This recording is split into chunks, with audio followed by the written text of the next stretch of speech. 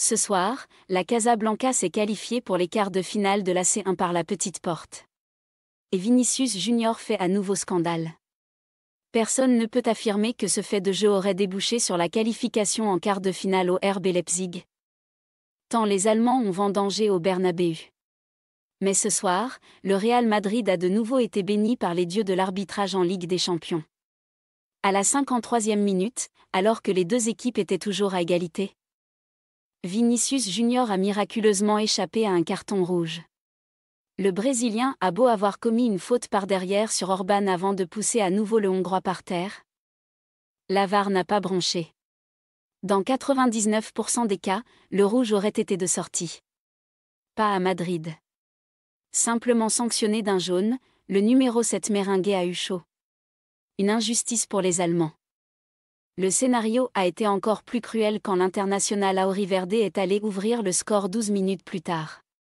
Éliminés 2 1 en cumulé pour Madrid, les partenaires de Xavi Simons sont logiquement allés dire leurs quatre vérités à l'arbitre du match. David Massa, une fois le match terminé. Et les joueurs de Marco Rose ne sont pas les seuls à protester.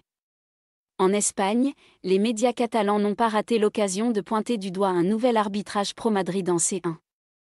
Nouveau scandale au Bernabéu. Agression de Vinicius et expulsion évitée, titre sport. Vinicius frôle le carton rouge pour une poussette qui fera parler d'elle, souligne de son côté Mundo Deportivo. Chez les anciens arbitres de Liga aussi, la sensation est que Vinicius aurait pu être plus durement puni. Vinicius a joué avec le feu pour un carton rouge parce que s'il le frappe au cou. On parle de quelque chose de sérieux, a expliqué Laoz sur Movistar. Même analyse pour Ituralde Gonzalez. Il peut l'expulser parce que sur la deuxième action, il va au cou. Pas à la poitrine.